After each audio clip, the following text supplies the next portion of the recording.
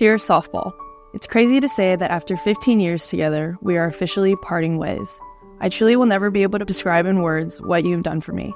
So thank you. From hitting wiffle balls in the driveway with my dad to playing on the biggest stage, I have been so incredibly blessed with the journey of a lifetime, filled with incredible women and people who are so wonderfully deserving of everything that has and will come their way. You have shaped and challenged me into being a better version of myself both on and off the field. You have taught me determination and hard work, all while showing me the value of gratitude, belief, resiliency, and love.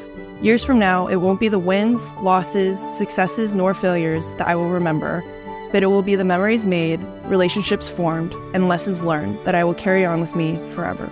I thank God every day for my family, whom has poured every ounce of support and traveled every mile to allow me to live out my dreams. For every single coach, teammate, and friend that has shown me nothing but love regardless of how I perform on the field. And thank you, Stanford Softball, for being everything I could have asked for and more. Stanford has given me some of my absolute best friends and experiences that I will never forget. From having the best education with the most competitive athletic department, Stanford has given me sisters who have picked me up from the ground during life's difficult times and believed in me when I didn't even believe in myself.